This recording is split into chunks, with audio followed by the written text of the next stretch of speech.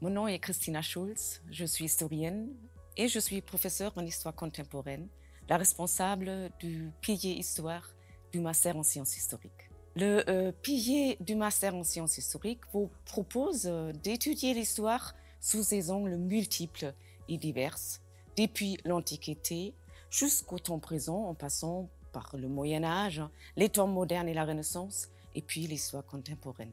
Ici, vous allez étudier l'histoire dans un esprit de la transversalité.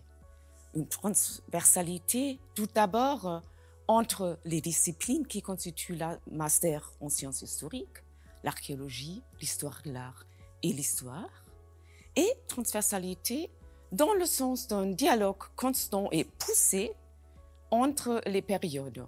Ces périodes qui ne sont rien d'autre que euh, des conventions historiquement situées, qu'on peut interroger, qu'on peut mettre en dialogue et euh, en posant surtout les questions transversales.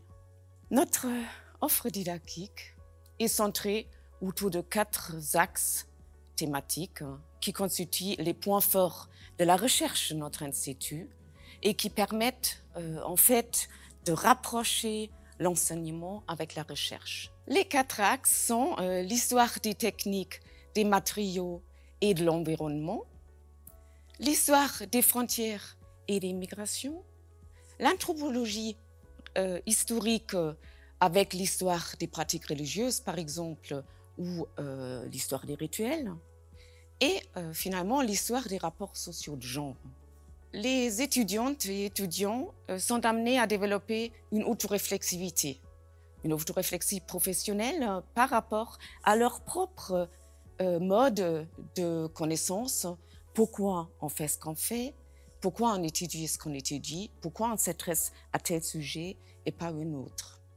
Quelles sont les ressources aussi de faire l'histoire pour faire l'histoire? Le pilier est profondément professionnalisant. Il offre deux spécialisations, euh, la spécialisation histoire et métier qui prépare au métier de transmission du savoir vers les musées, par exemple, vers les archives, et une spécialisation qui prévoit une initiation à la recherche, et ceci par la recherche. Pour résumer, le pilier Histoire propose une formation qui permet d'étudier des thèmes et des sujets de grande actualité dans une perspective de longue durée, et en dialogue avec les autres sciences historiques. Ceci dans une didactique de la découverte et de l'investigation, et moins peut-être dans l'esprit du prêt-à-penser. Par conséquent, étudier les sciences historiques à l'Université de Neuchâtel est le choix idéal pour toutes celles et tous ceux qui euh, veulent sortir parfois des sentiers battus et s'avancer vers un large éventail de professions possibles, que ce soit dans la recherche, dans les métiers ou dans la cité.